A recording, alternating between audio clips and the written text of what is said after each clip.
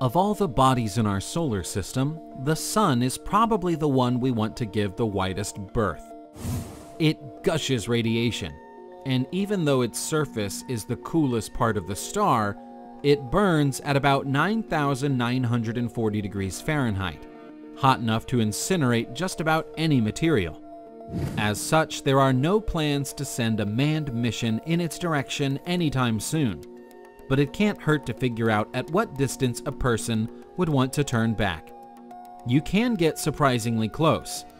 The Sun is about 93 million miles away from Earth, and if we think of that distance as a football field, a person standing at one end zone could get about 95 yards before burning up.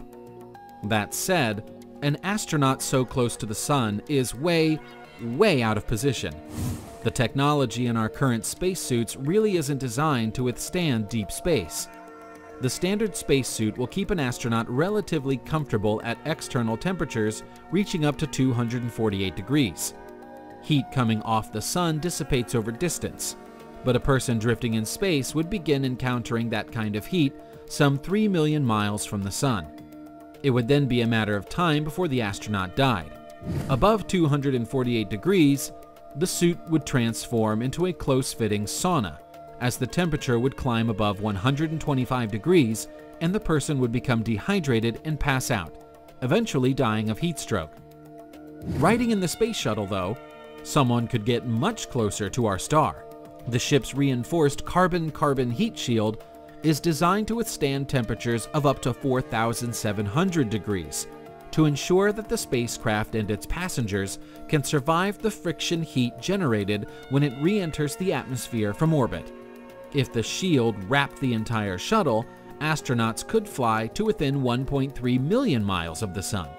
But the integrity of the shield degrades rapidly above 4,700 degrees, and the cockpit would begin to cook. It is highly advised to have your ship turning away from the Sun well before that point, much hotter than that, the shields would fail altogether, and the vehicle would combust in less than a minute. Of course, just getting that close to the sun would be quite an accomplishment. There are a couple of other things to consider, namely that cosmic radiation would probably kill you before you reach a complete half the distance to the sun. Modern shielding against space radiation is still quite poor, and before trying to make sure astronauts won't melt on their way to the sun, they need to make sure their bodies aren't irradiated.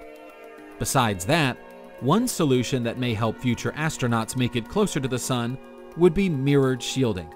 The 2007 film Sunshine depicted a spacecraft fitted with an incredibly huge optical shield designed to bounce the sun's rays away, which could help ensure the spacecraft stays cool enough. Sunshine also raises another point. Just because you can get close to the sun doesn't mean you'll be able to actually see the sun. You'll need to block out the rays by about 98% in order to actually get a view that won't turn you blind.